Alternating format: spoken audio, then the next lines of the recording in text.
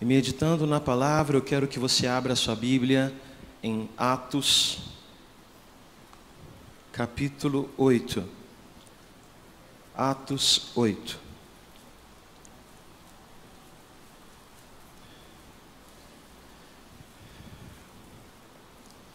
Tem tudo a ver com Ele. Amém?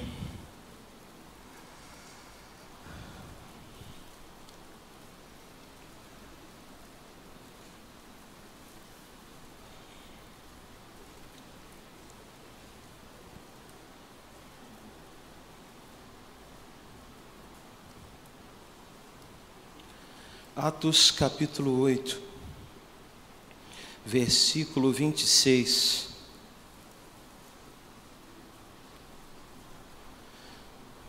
Vamos ler. Um anjo do Senhor falou a Filipe, dizendo: Dispõe-te e vai para o lado do sul, no caminho que desce de Jerusalém a Gaza e este se achava no deserto. Ele se levantou e foi. E eis que um etíope, eunuco, alto oficial de Candace, rainha dos etíopes, o qual era superintendente de todo o seu território, que viera adorar em Jerusalém Estava de volta e assentado no seu carro, vinha lendo o profeta Isaías. Então disse o Espírito a Filipe: Aproxima-te deste carro e acompanha-o. Correndo Filipe, ouviu ler o profeta Isaías e perguntou: Compreendes o que vens lendo? Ele respondeu: Como poderei entender se alguém não me explica? Amém? O som está alto? Tá bom? Tá alto? Não, lá atrás está bem? Está tudo certinho? Amém. Vamos orar. Pai, nós louvamos o teu santo nome, Senhor.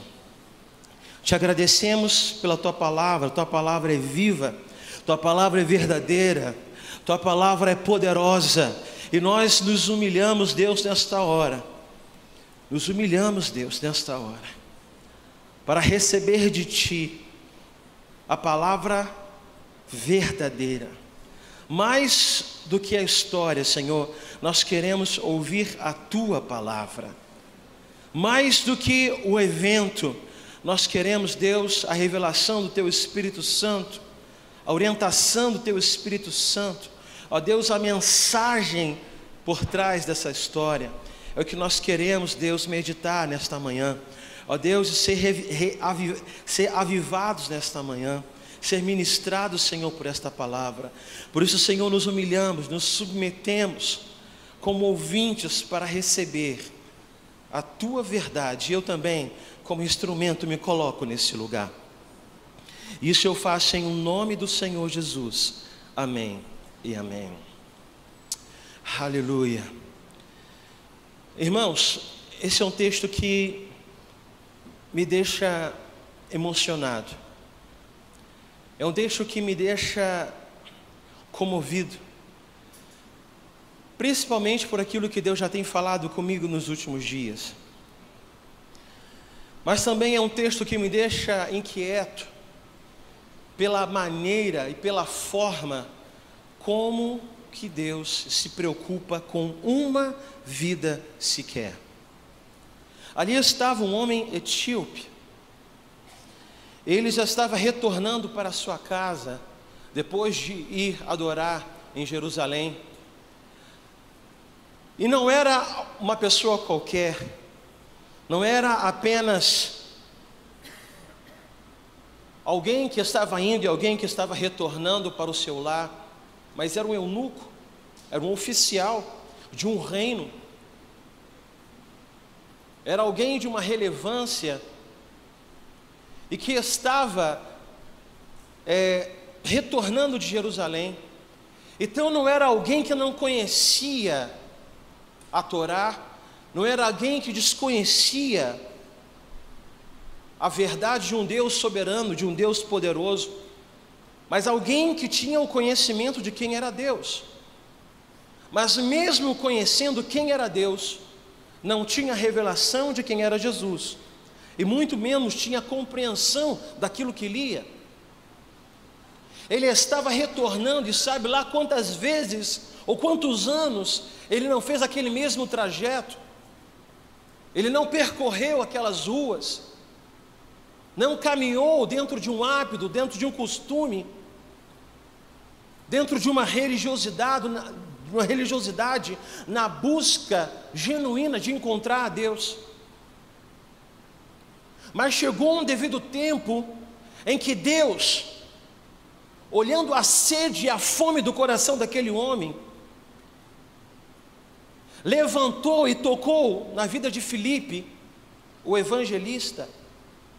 Esse homem, tocado pelo anjo do Senhor, foi até a estrada que ficava entre Jerusalém e Gaza.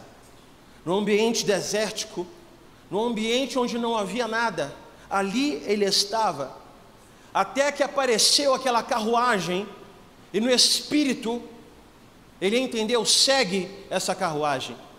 No meio da carruagem, sem saber o que está, quem estava dentro ou o que estava fazendo, ele ouviu o eunuco ler o texto de Isaías.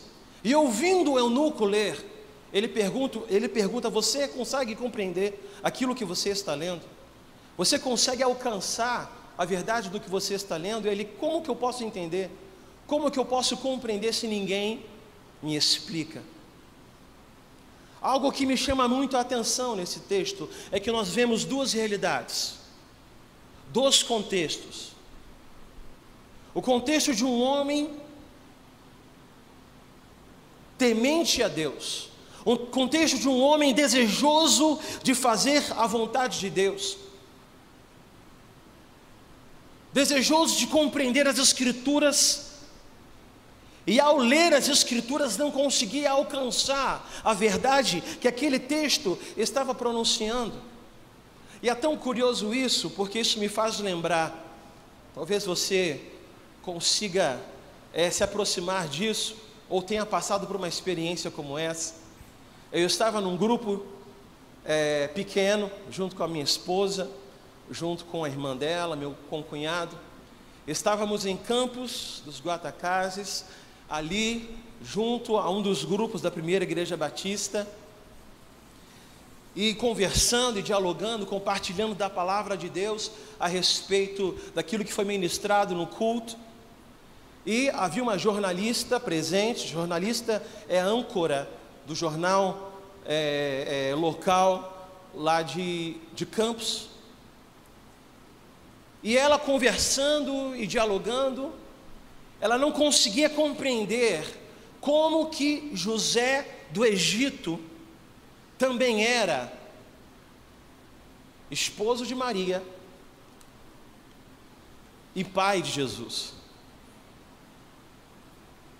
E ali ela colocou essa indagação, porque ela lia os textos e não conseguia compreender se havia uma proximidade nos tempos, se era alguém que. O que, que, o que, que estava acontecendo? Ela não conseguia entender a, o que, que era aquilo, os dois textos, para ela parecia algo muito, muito esquisito, porque ela tanto lia um texto, lia o outro, mas não conseguia compreender o todo, e muito menos as pessoas. Então, naquele momento, nós sentamos e compartilhamos com ela, explicando quem era José do Egito, e por outro lado, explicando quem era José, parte da linhagem real, que por meio dele, da geração santa, a linhagem divina que foi descrita ali em Mateus, capítulo 1, pelo qual viria Jesus Cristo.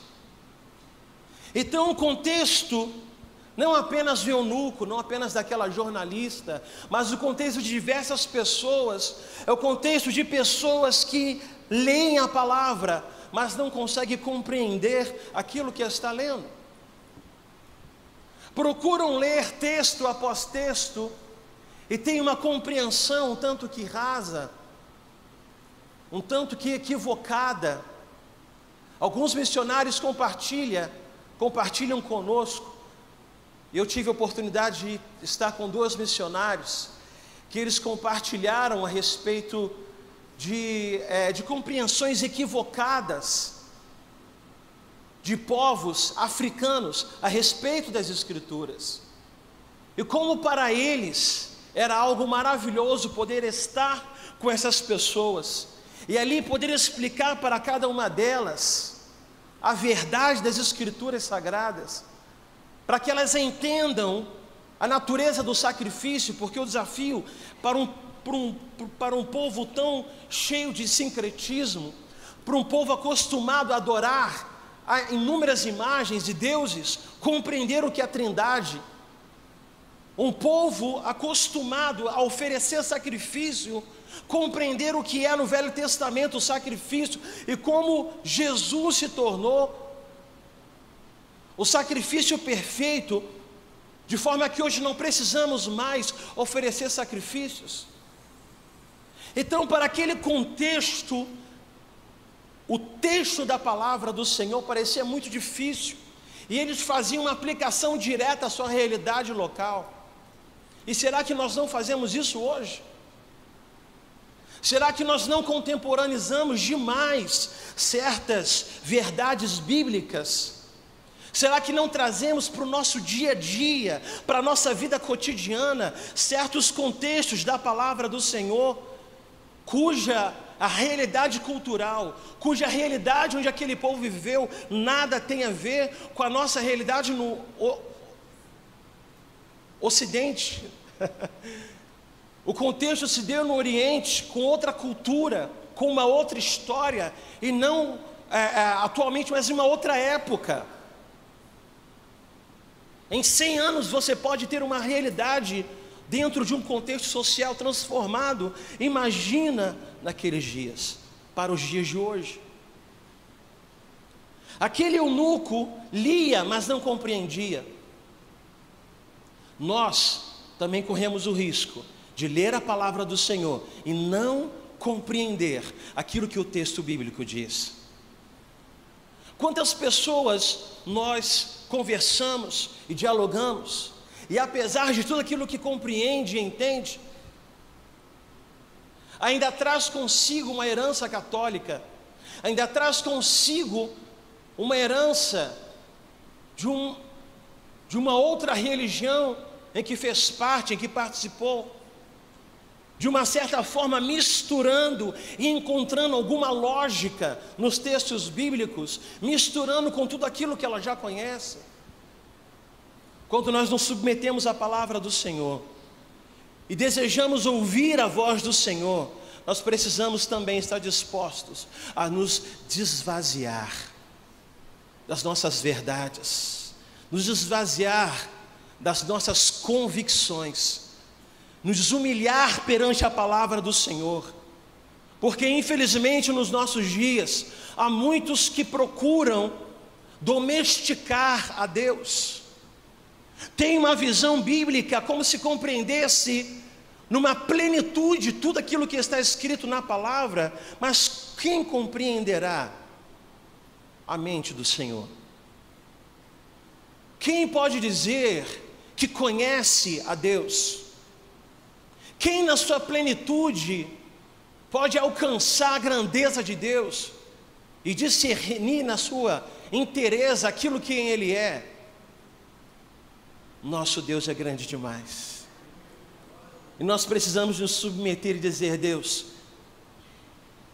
eu quero abrir mão da minha verdade, eu quero abrir mão das minhas convicções, eu quero abrir mão da minha maneira de enxergar, eu quero que o Senhor se revele a mim como tu és. Eu não quero que o Senhor se revele a mim da maneira como eu quero, mas eu quero que o Senhor se revele a mim da maneira como o Senhor quiser. Eu não quero que o Senhor se revele a mim da forma ou da maneira que eu desejo ou que eu penso, mas eu quero me sujeitar ao Senhor e dizer: Deus, seja feita a tua vontade na minha vida.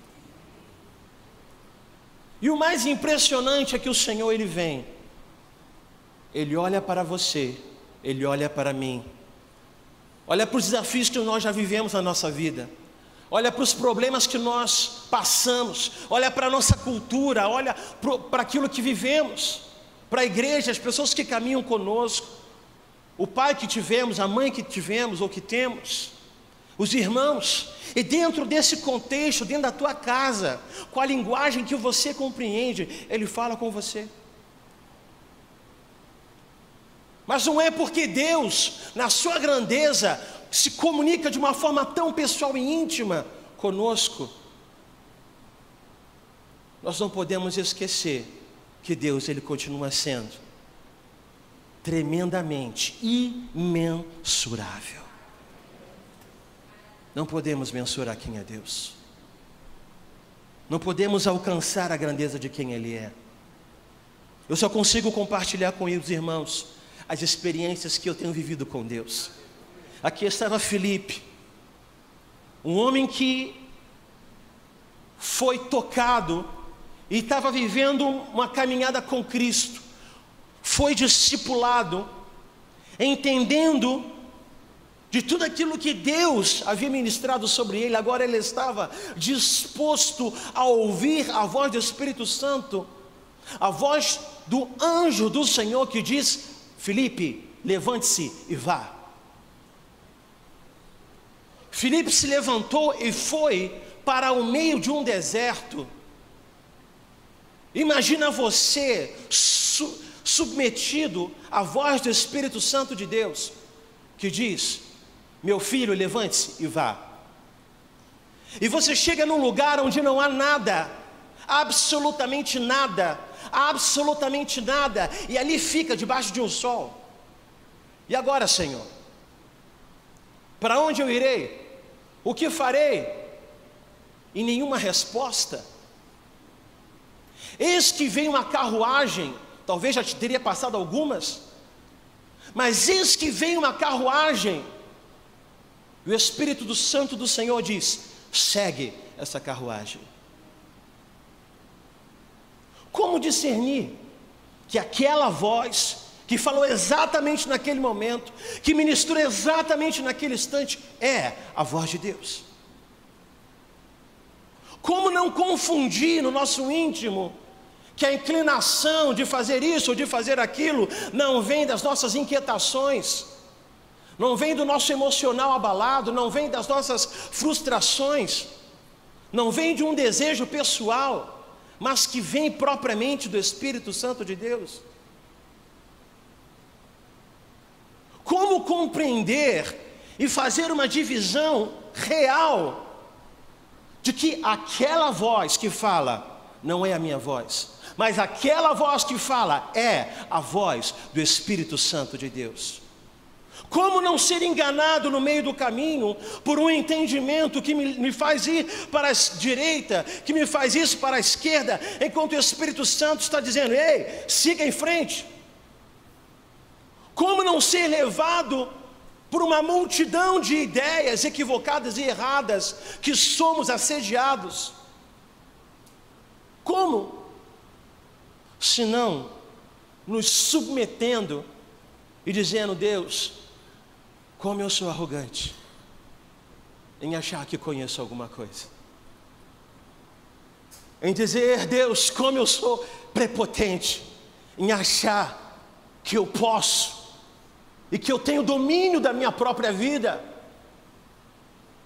Deus, fala comigo através da tua palavra. Fala comigo através da tua palavra. Irmãos, a palavra de Deus fala eu quero te dizer uma verdade. Uma verdade. Quando nos dedicamos e nos humilhamos para ouvir e para compreender as Escrituras, e fazemos isso como o etíope fez, O etíope estava sedento da palavra, mas não havia quem o ministrasse ao coração.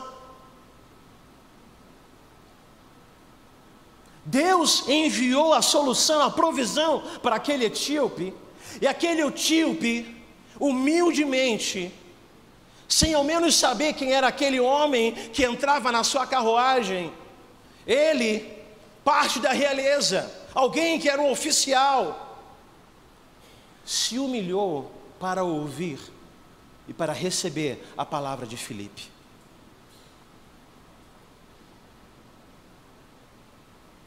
Nós precisamos, da mesma forma, nos humilhar. E estar pronto para ouvir a palavra do Senhor, seja dentro do culto, aonde, infelizmente, alguns irmãos, ao ouvir a mensagem que é ministrada, dentro de si começa uma briga interna, uma briga, uma confusão interna, a respeito daquilo que está sendo dito, a respeito de quem está dizendo, a respeito de como está sendo exposto a palavra do Senhor, e o mais importante, ele perde, que é ouvir a voz de Deus.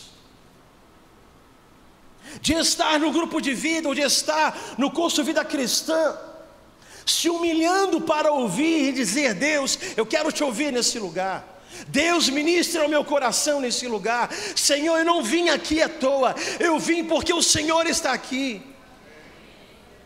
Estar na sala de aula com o coração sedento e falar: Pai, eis-me aqui nesse lugar, eu quero te ouvir.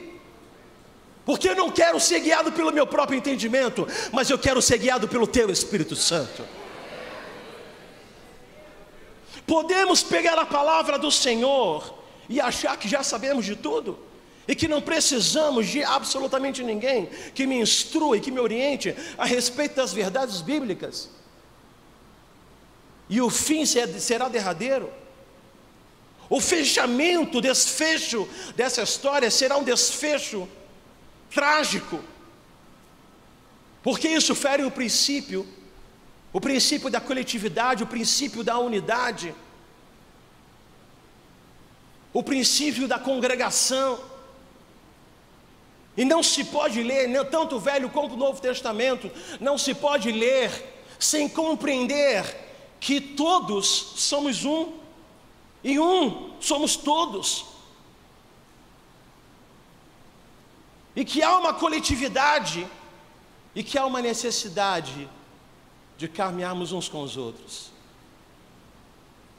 de receber a palavra do Senhor. Felipe recebeu essa palavra, foi instruído na palavra, foi orientado na palavra, foi formado e forjado no caráter do Espírito Santo, no caráter de Cristo, desculpa. E no devido tempo ele estava pronto não mais duvidando, mas na plena certeza de que deveria sair de Jerusalém e ir ao sul, sentido Gaza, naquela estrada. O que traz uma convicção como essa, se não a palavra? O que traz a certeza de ouvir a voz do Senhor, se não a submissão em oração às Escrituras do Senhor?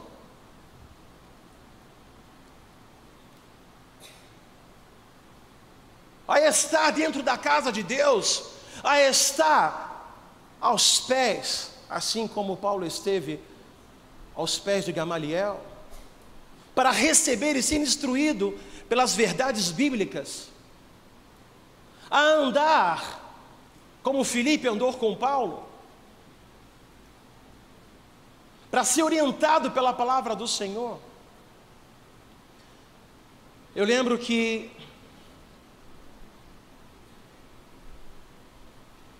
Esse mês que passamos agora, nós é, compartilhamos, estava eu, pastor Adilson, Terezinha, Isabel, Alim, Inajocum, Leilane, João, Gabriel, e estávamos conversando na casa do pastor Adilson, sobre a forma e a maneira como o Espírito Santo conduzia toda aquele grupo de jovens, conduzia para ministrar e para pregar a palavra de Deus.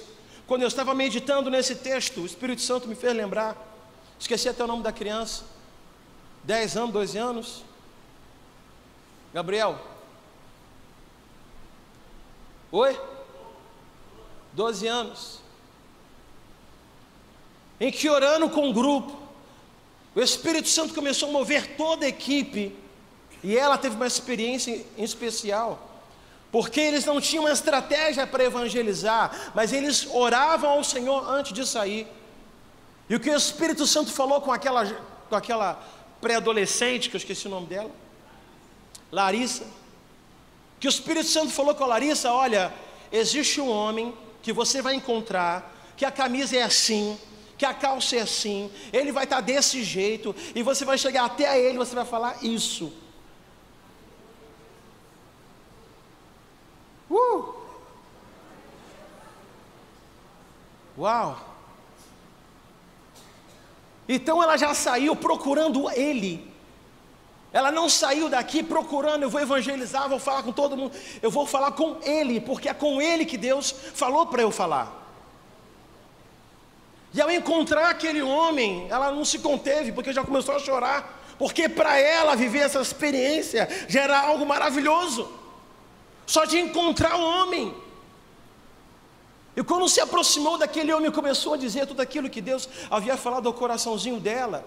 Aquele homem não citou uma palavra, mas começou a ser lavado em lágrimas. Um homem mais velho do que eu, ouvindo uma criança de 12 anos, mas se humilhou para receber a palavra de Deus.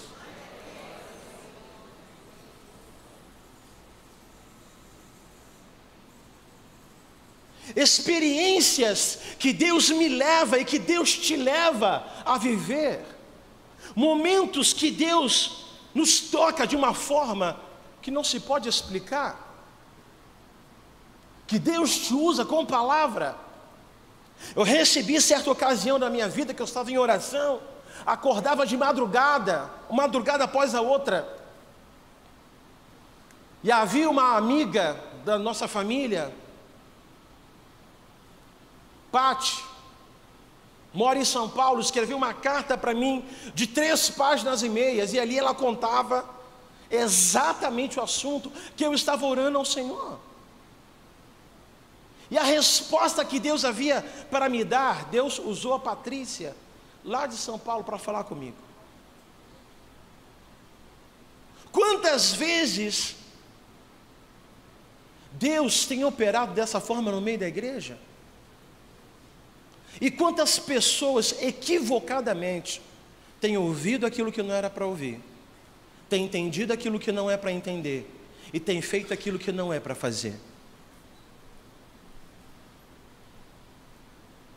Para caminhar no sobrenatural, nós precisamos cumprir os princípios da palavra de Deus. Para caminhar numa nova dimensão com o Senhor, para receber a palavra profética que vem da parte do Senhor, existe um fundamento que não faz com que você fique voando para lá e para cá, que não faz com que você entenda, e eu estou falando de algo que eu, num, num contexto da igreja, eu vi. Pessoas acreditando em secretismos católicos dentro da igreja. Pessoas defendendo ideias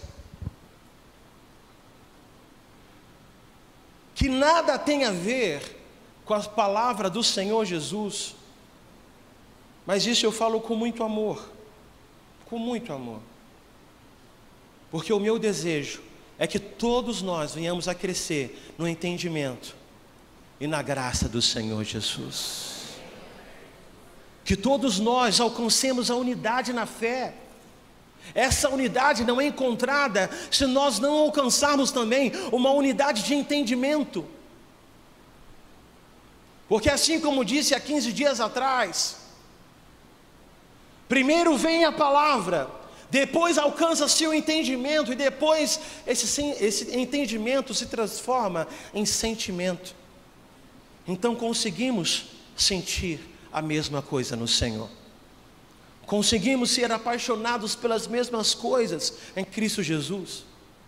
Conseguimos olhar na mesma direção e crescer certo, como esta é a orientação do Espírito Santo de Deus.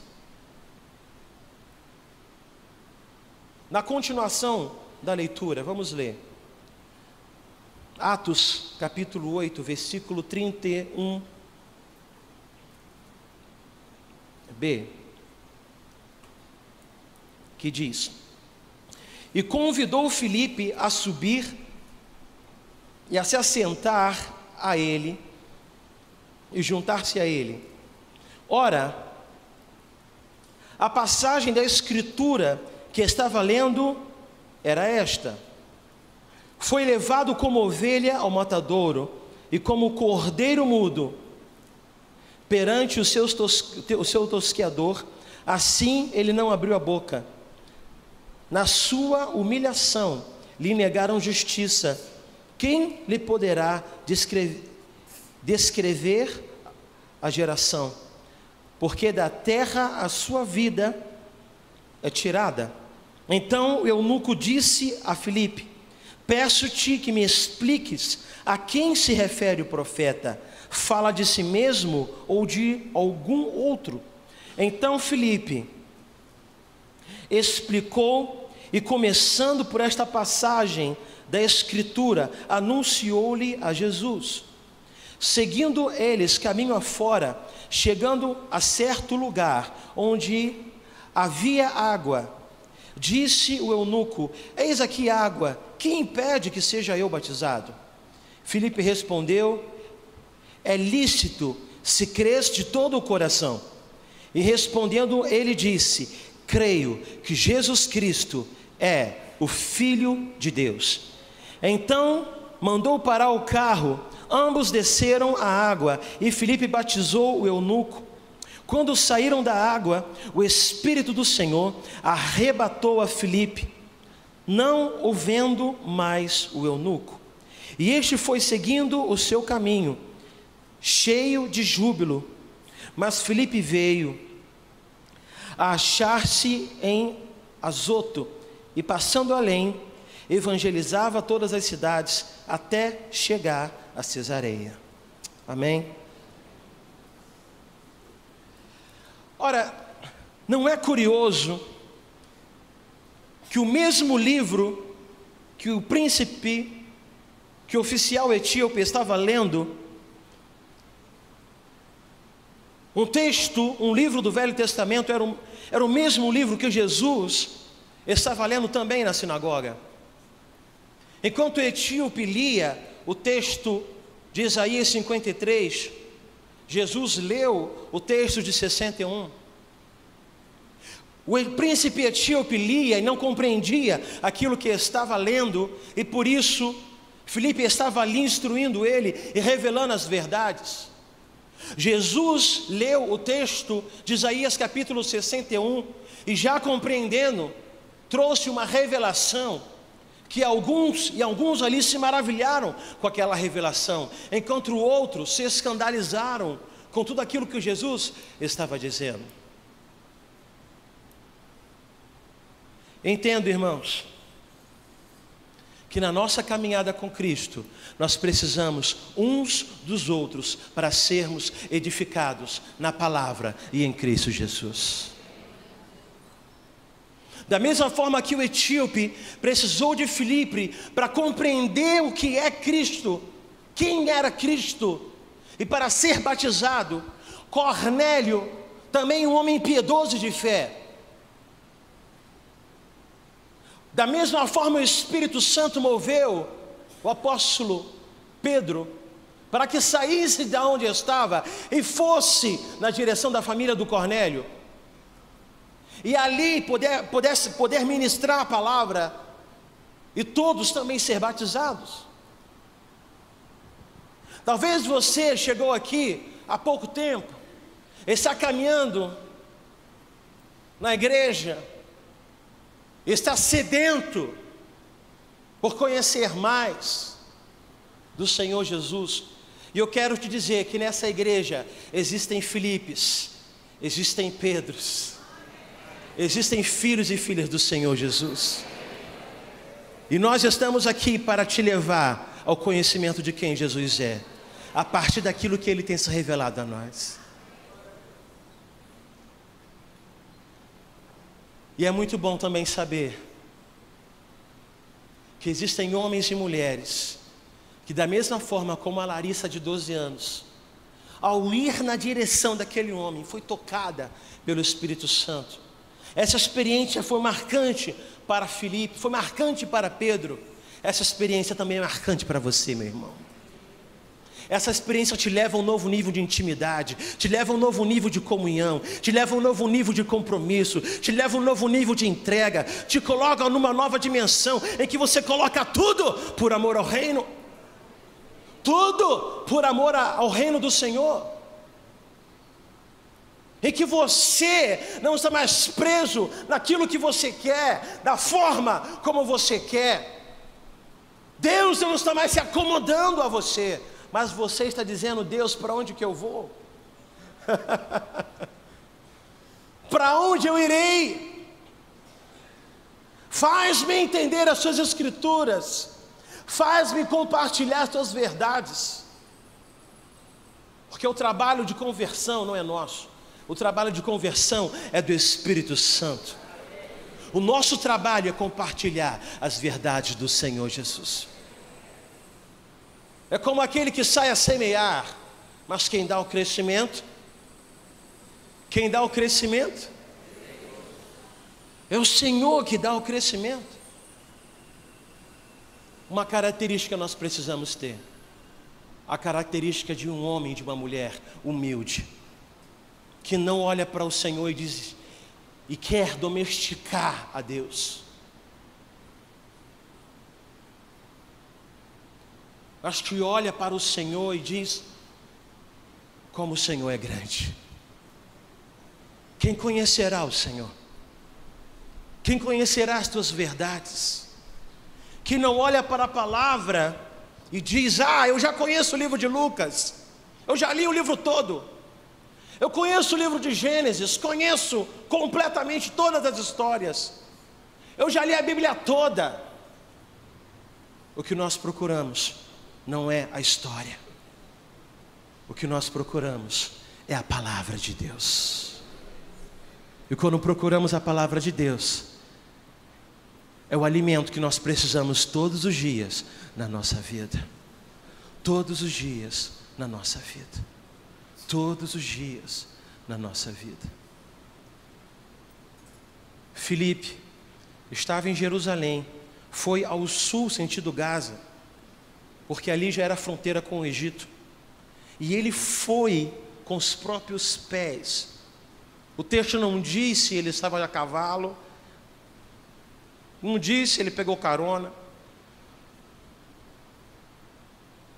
Ele foi.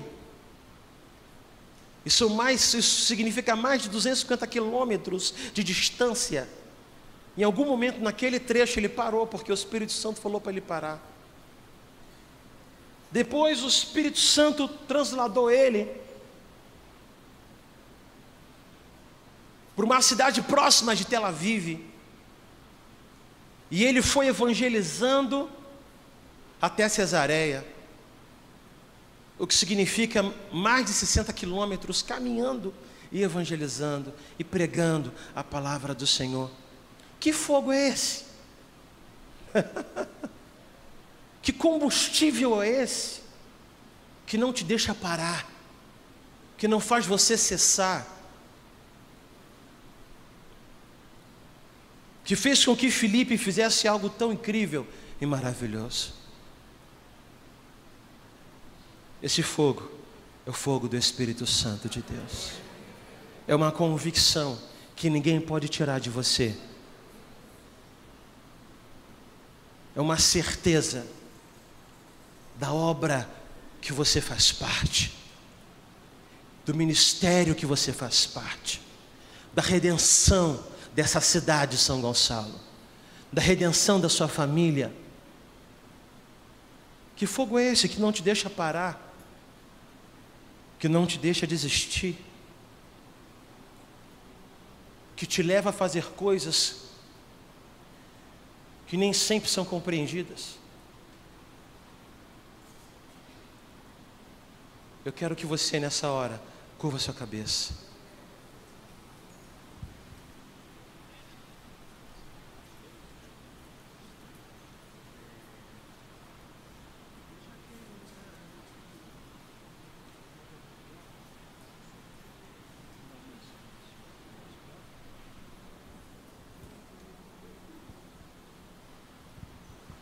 Fala o Senhor Jesus nessa hora. Eu não sei, irmãos, mas eu já me vi errando muito, interpretando a palavra, entendendo aquilo que Deus falou e na verdade não falou, entendendo aquilo que Deus me disse para fazer e na verdade Deus não disse coisa nenhuma. Eu já passei por isso, quantas vezes eu passei? O Espírito Santo ele nos ensina em todas as coisas. somos sacerdotes, somos profetas. Nós precisamos ser formados numa base sólida, numa base sólida. Precisamos uns dos outros, para que a edificação da fé possa ser completada em nós.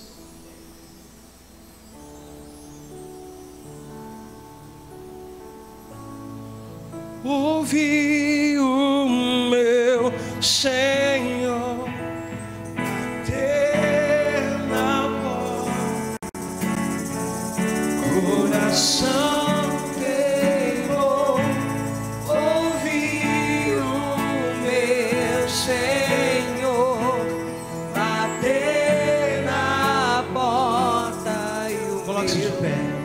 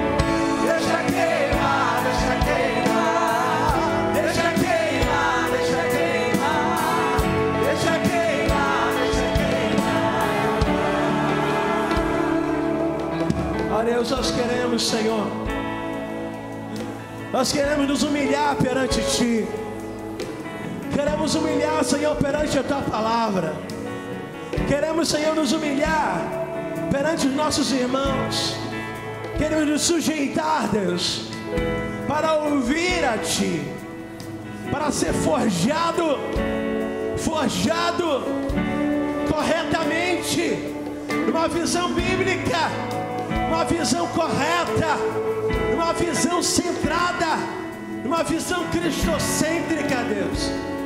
Ó Deus, não queremos levar, Deus, ser levados, Pai, pelo nosso próprio entendimento. Não queremos ter uma ideia de quem Tu és. Não queremos adorar uma imagem de quem Tu és. Mas nós queremos adorar a Ti, Deus. Não queremos, Senhor, construir, Pai, um caminho segundo o nosso próprio entendimento. Mas nós queremos nos submeter a Tua palavra e dizer: Deus, diga-nos, diga-nos, Senhor, para onde ir. Diga-nos, Senhor, o que fazer. Diga-nos, Senhor, porque eu quero me esvaziar, me esvaziar, me esvaziar completamente, completamente, completamente, para receber e tirar, receber de ti e tirar de mim o que não é de, de ti, Senhor.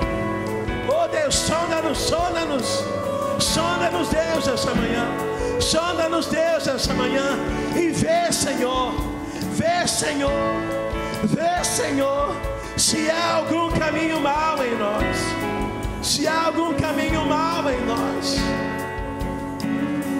nós queremos, Deus, nós queremos, Deus, viver toda a vida em abundância que o Senhor tem para nós. Queremos viver toda a vida em abundância. Não queremos perecer por falta de entendimento, mas queremos crescer na graça e no entendimento de quem tu és. Te amamos, te amamos e te agradecemos, Pai, por essa manhã. Te agradecemos, Pai, por essa palavra. Te agradecemos, Pai, por tudo aquilo que o Senhor está fazendo e ainda fará no nosso meio. Por isso eu te peço, Deus, que nos abençoe, que toca-nos, toca-nos com a tua verdade nos humilhando e nos levando a uma vida em comunidade.